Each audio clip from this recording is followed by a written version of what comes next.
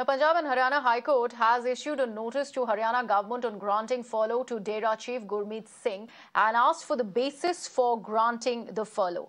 In fact, in court, Haryana government has said that the Dera chief was not a hardcore criminal and was in fact not an assailant in the murder cases but a co-conspirator and thus is eligible for a furlough. Now remember, Gurmeet Singh has been convicted in two cases of murder and also for raping two sadhvis in his ashram.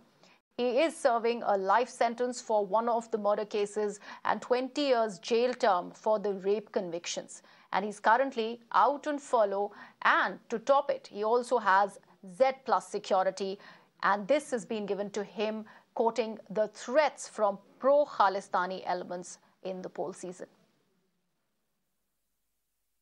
If we can specifically talk about Ram Rahim case, uh, before elections, and he has been granted furlough for the 21 days.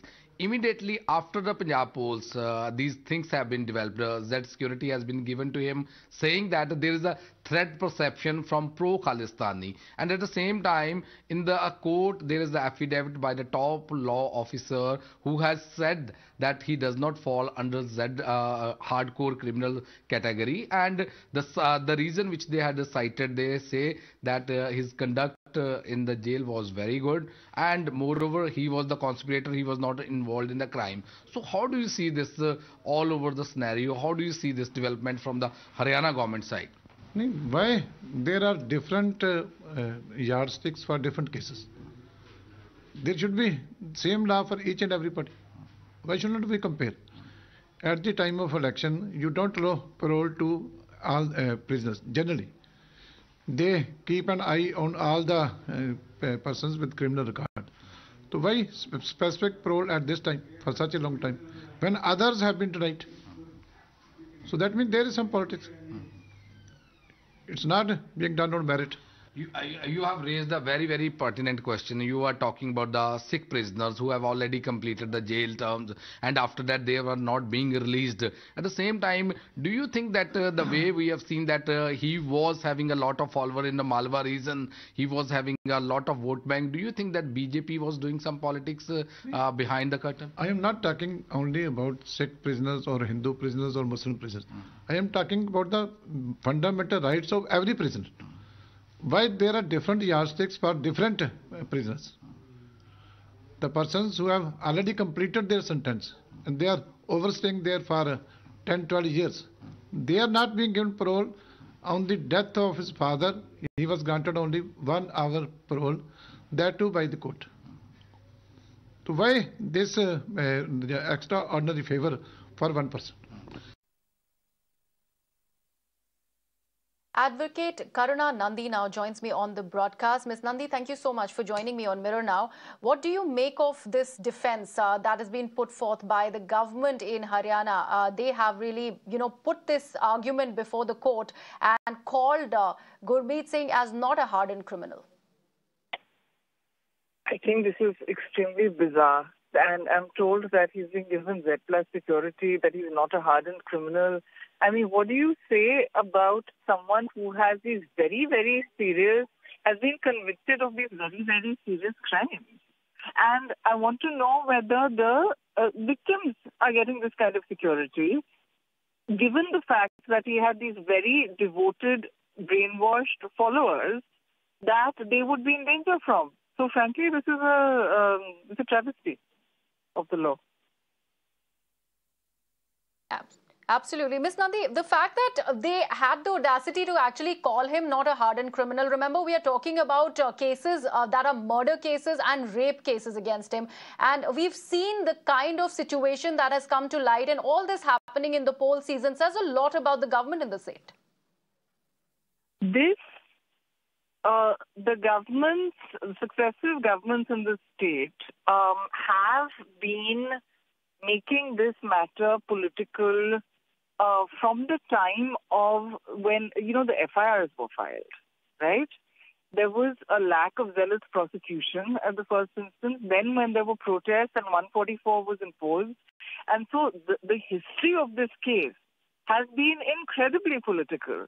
And you see, mm. uh, you see the Sangh Parivar yes. in particular, the BJP, wheeling out these sorts of so-called godmen. And, you know, in, in this case here, somebody who's convicted of these incredibly serious crimes. And, I mean, I really hope voters see through this. Ms. Nundy, one final thing that I'd like to ask you here is uh, this is the 21 day furlough that we are talking about as far as the Dera chief is concerned. When he was given this, now the argument before the court, which was put forth by the government in the state earlier also, was that he's actually gone ahead and completed a certain tenure as far as his jail term is concerned and hence he is eligible for that furlough. How true is that and how, uh, where does it hold? How much water does this argument hold? So look, I'm not familiar with the particular facts of his, uh, you know, the uh, the term of his sentence, etc. And if he's entitled to the furlough, fair enough. I think the problem is different. The problem is if, as your team told me, he's getting the Z plus security, and if he, they are saying he's not a hardened criminal in court, the government that is meant to protect the victims of this this person, then what hope do what hope do the victims have? and their families, you know. And particularly in these cult-like situations, you have the uh, you have the sort of blind believing followers who are and and the, the the victims are in danger of those people. So what hope do we have that the law and order right. apparatus will be protecting them? You see. Absolutely. Karuna Nundy, thank you so much for joining me on Mirror Now on uh, this development uh, that we are bringing to you on this particular story. A bizarre story that's coming to light from uh, Haryana and an argument that has been put forth by the government in the state. We'd have to see how much water does that argument really hold. We're getting more breaking news uh, which is to do with the same story. Now the youth Congress leader have gone ahead and questioned the furlough and the Z plus security of the Dera chief Gurmeet Singh. Congress leader Srinivas BV has asked if Gurmeet Ram Rahim would now be made BJP's chief ministerial candidate from Haryana. Meanwhile, also, more uh, comments are coming in. Dr. Shama Mohamed has also taken a sarcastic jibe saying that a rapist has been given Z plus security and this is really the mindset of the BJP. Raman Malik of the BJP is joining me on the broadcast. Uh, Mr. Malik, your first responses to all these reactions that are coming in. If we have not followed the due process of law, we must be held guilty. If we are not following the precedents, we must be held guilty. To protect a criminal also at times becomes very important because justice must be served. Tomorrow, if this criminal is given is not given a security and something happens to him on his parole, the justice would not be served. That is one part of it.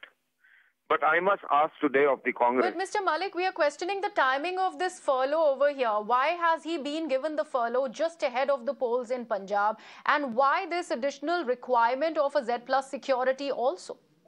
Let me answer, please those criminals, yes, whether they have done, whether those criminals who have done financial fraud or land grabbing have been given SPG protections.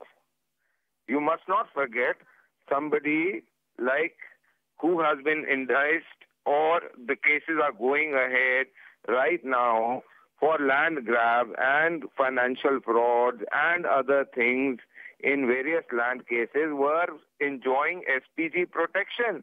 People out on bail for doing a scam in their own political party who are out on bail had been given SPG protection. Some But Mr. Malik, why don't we stick to uh, Gurmeet Singh and talk about the accusations against him and talk about the conviction that has been against him? Because here we're talking about him being accused of rape and him being accused of murder, sentenced to, uh, in fact, 20 years in jail because of rape and life imprisonment. So that is the kind of sentencing that we're talking about here. We're not talking about the others over here. We Let's just stick to Gurmeet Singh and the sentence against him. Why? if if uh, you can accept the comments of Shama Mohamed and B.V. Srinivas, why should you not accept my uh, comment? Because I'm from BJP? You want to do uh, you want to be hypocritical in accepting no absolutely also? not sir i just want you to not steer the conversation in any other direction because we are here concentrating on this particular furlough that's been granted to uh, gurmeet singh and also the argument that has been put in by the haryana government in court that is what we are discussing here sir so have the comments of B.V. Srinivas and Shama Mohamed been on those? They've been saying make the chief minister, make Gurmeet Ram Rahim the chief minister. Is that acceptable? So that is not not violation of the uh, topic right now. So that is why I say that the fact of the matter is that those who who have been butchers and have been doing various frauds and various crimes against the country enjoy SPG protection.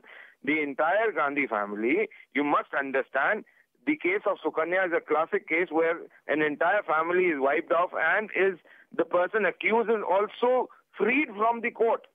So that is the level of uh, you know the, the misuse of law in, in this country that has been witnessed. And today, when we are following the due process of law and making sure that the criminal who is out on parole does not get harmed so that other cases do not get impacted and the people who are waiting for justice do not uh, say that, oh, the person is now gone, what justice would we get?